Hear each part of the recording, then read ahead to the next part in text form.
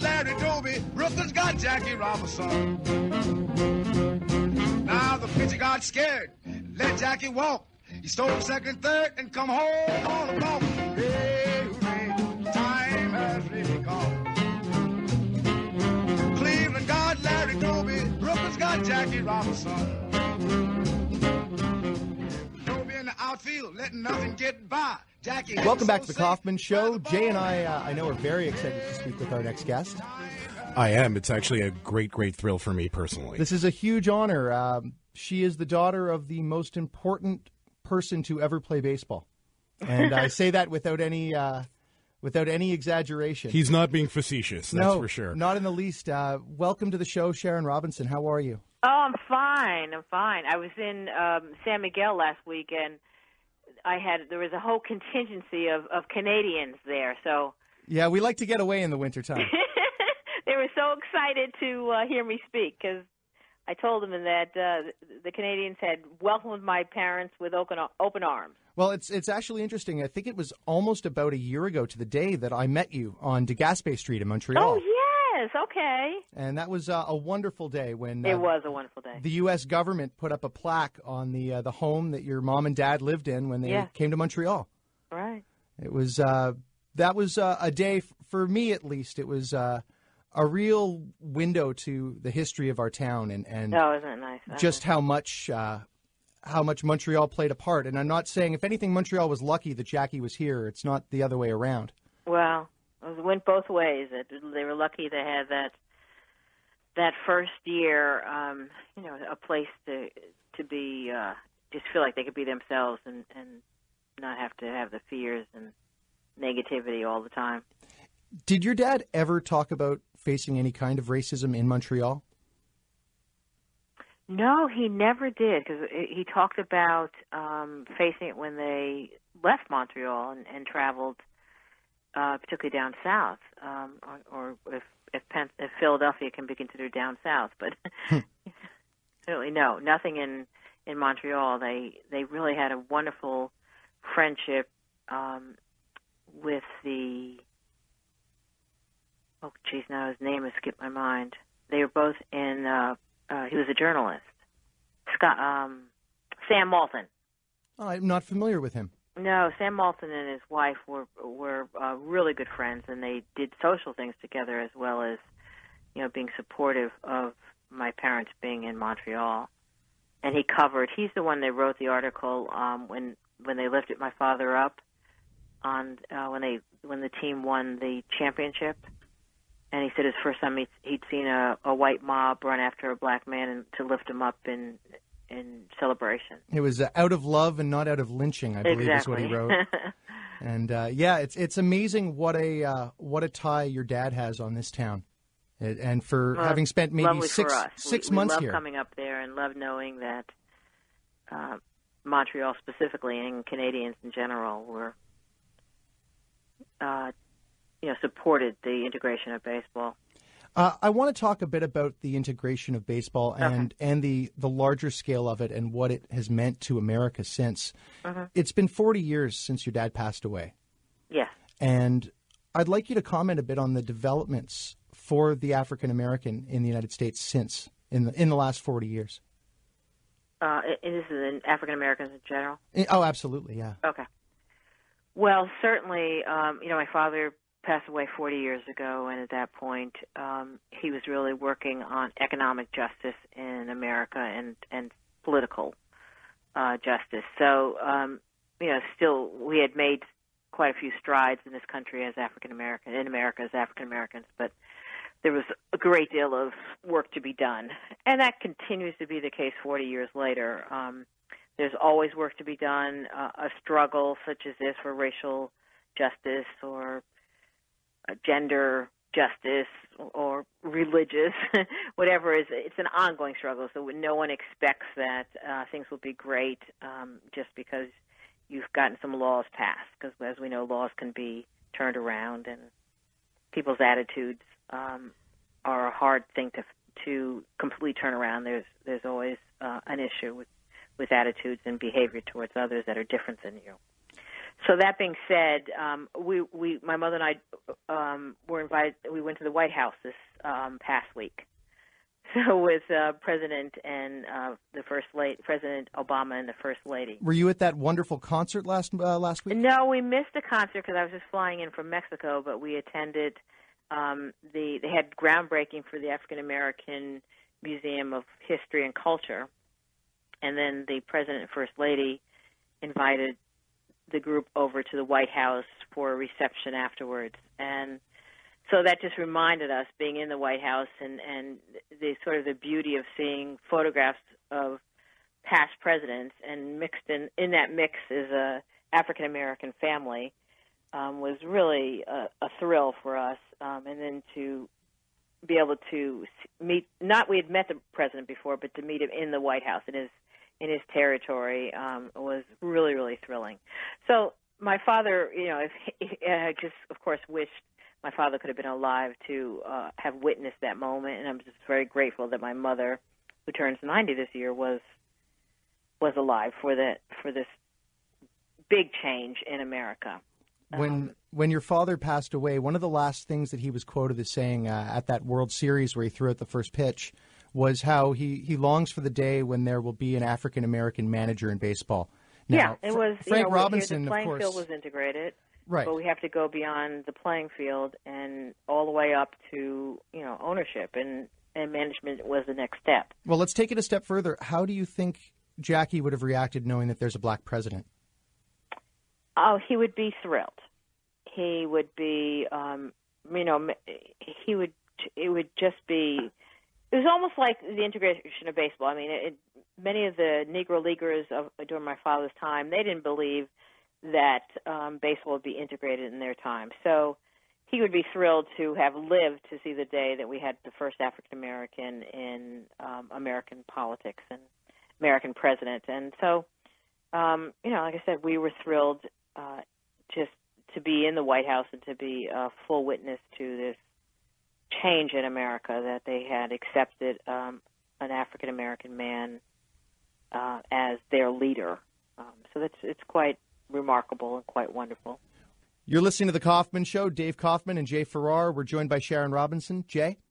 Hi, Sharon. Uh, Hi, Jay. How are you? Fine, thank you. Good. Uh, I was. Uh, you touched on uh, Dave's question. He uh, he actually asked the question before I could. Uh, I'm good at that. Yeah, he is. He, he scooped me on that. I was actually going to ask a question um, regarding management in Major League Baseball. Yes. Do, do you feel that there are enough African Americans or people of color in uh, high positions in Major League Baseball in I this think day? it's an ongoing struggle, Jay. Um, um, we've certainly made some strides, and we kind of pass around the the three man- African American managers that have been in baseball since Frank Frank Robinson um, first came in in the 70s. But um, it's it's um, we still have a lot of work to do, and we see a decrease in on all levels of African American participation in the game, and we're working very hard with youth baseball to turn that around. Uh, we've got some really great programs. The commissioner has some really great programs uh, and some institutes now in urban areas that do attract African Americans.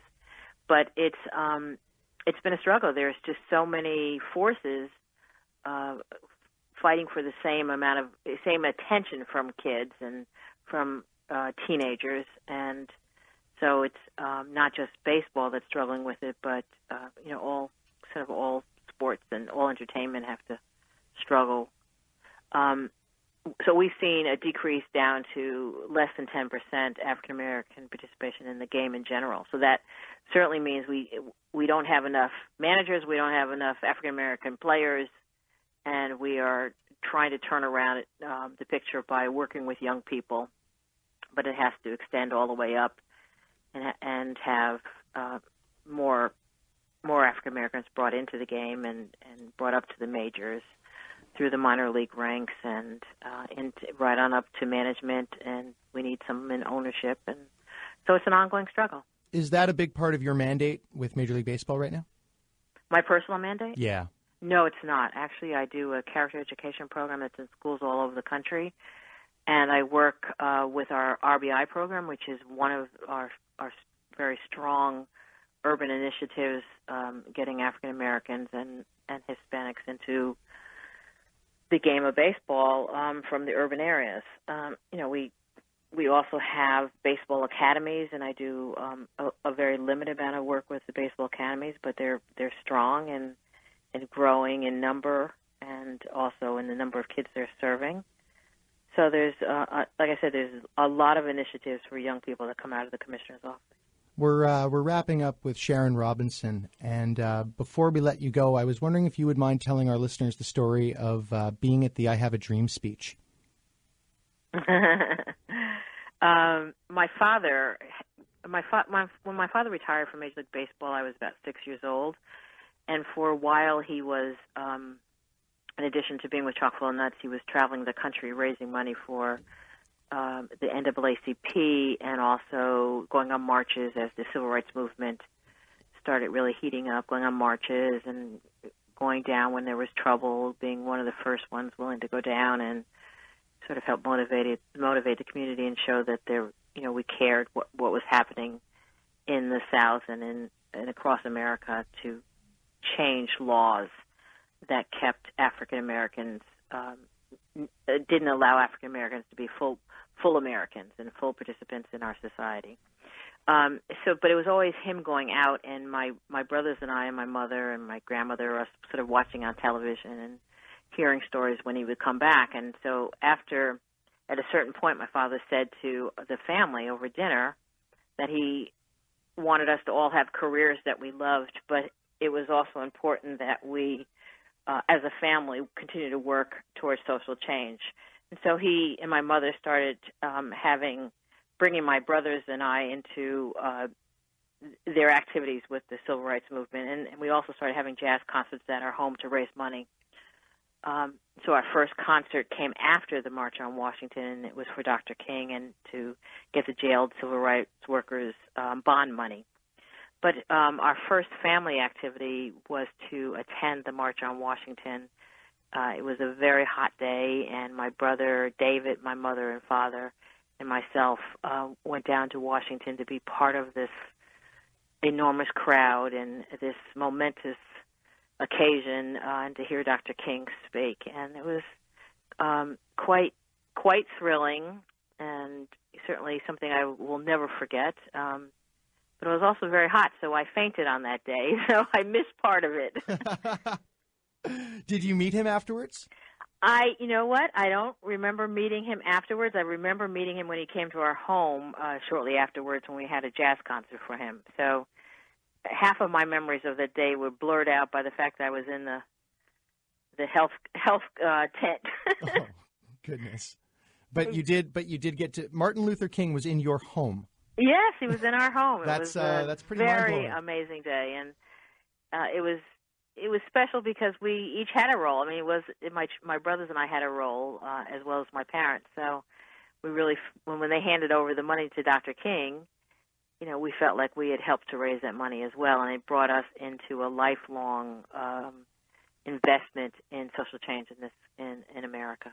We want to thank you for uh, for making that investment, Sharon. It's uh, yes. it's such a pleasure you know, to speak I, I with you. I just have to tell you one yeah. more thing. My my we talked about my father being um, dying 40 years ago, but Yeah. it's also an anniversary, almost an anniversary for the Jackie Robinson Foundation, which my mother started shortly after my dad died. And we now have, you know, about 250 scholars, Jackie Robinson scholars all over the country, and they, um, we we're bringing them into New York very soon for our uh, leadership weekend, um, and they spend four or five days with us in New York and they have everything from mentoring to going to plays and cultural activities and museums and and then on Monday night we have our annual um, black tie dinner where they take their networking to the next level. So it's a um, program that's very successful, and my uh, our our biggest um, success is that 97% of our students graduate from college. Hmm, that's amazing. Wow, what a number! That's uh, It's a it's a great number Yeah. and a real testament to my mother. You know, these it's the Jackie Robinson Foundation, but my mother, it could be the Rachel Robinson Foundation because it is something that she started and has stayed with. And she's turning 90 this year, but she still goes in the office uh, two days a week and is on daily basis involved in the uh, the um, the foundation. The letter that you read on your mother's behalf last year on to Gaspé Street was, uh, I think, it took all our breaths away on that snowy day. and uh, we want to thank you so much for everything that you do uh, for social change and for justice. And uh, and really, thank you for your time today. This was such an honor to speak with you. Thank you so much. Have a wonderful day. You too. Bye bye.